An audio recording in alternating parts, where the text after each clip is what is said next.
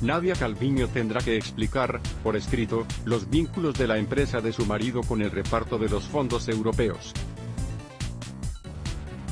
El Grupo Popular en el Congreso de los Diputados ha registrado una batería de preguntas que deberán ser respondidas por la vicepresidenta primera, a la que el PP ha puesto en la diana por la concesión desigual de las ayudas europeas a los gobiernos locales y autonómicos en función de su color político. El Partido Popular reacciona así a la información avanzada el pasado lunes por Es Diario, en la que se revelaba que Ignacio Manrique de Lara ejerce como agente digitalizador adherido de BE Digital, una empresa dedicada a gestionar fondos europeos a pequeñas y medianas empresas, pymes, directamente con el Ministerio de Asuntos Económicos que dirige su mujer, Nadia Calviño. La compañía solicita y tramita las subvenciones que Economía ofrece para la digitalización,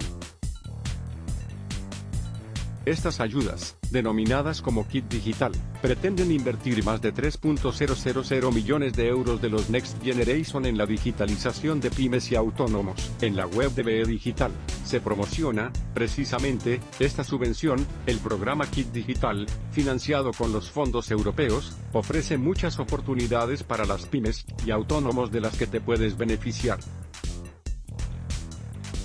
denuncia conflicto de intereses en la pregunta del Grupo Popular, registrada el pasado jueves y presentada por los diputados Pablo Hispán y María Valentina Martínez Ferro. El PP destaca que, según se ha publicado en medios de comunicación, el Ministerio de Asuntos Económicos obliga a las pequeñas y medianas empresas que quieran acceder al programa Kit Digital a contratar previamente a un agente digitalizador.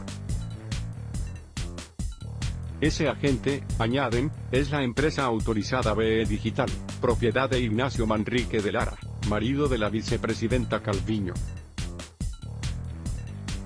Desde el PP destacan que esa compañía cuenta con este estatus privilegiado de intermediario que le permite hacer negocio gestionando las ayudas. Los populares califican esta relación entre el ministerio y la empresa del marido de Calviño como un conflicto de intereses, del que quieren saber si el gobierno tiene conocimiento. El PP, además, pregunta si es aceptable que el marido de la vicepresidenta haga negocios a cuenta de los programas que dependen del ministerio, y si en el Ejecutivo se conoce el servicio que ofrece la empresa del marido de la vicepresidenta. Finalmente, los populares exigen saber si hay más familiares de miembros del gobierno que estén haciendo negocios a cuenta de los fondos europeos.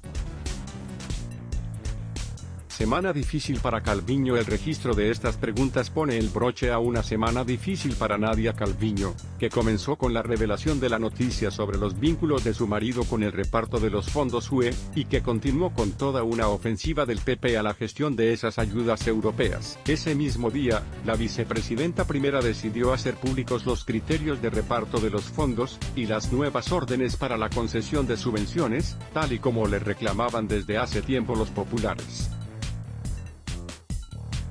ministra de Economía tomó esta decisión apenas 48 horas antes de la visita de los alcaldes del PP a Bruselas para denunciar la gestión de Calviño. Ya el jueves, la número 2 del gobierno tuvo que enfrentarse a una dura comparecencia ante la Comisión Mixta para la Unión Europea y, ante la oleada de críticas recibidas por los diputados del PP y otros grupos parlamentarios, anunció que, a partir de ahora, contará con la oposición para el reparto de los fondos europeos. Adblock Test, UI,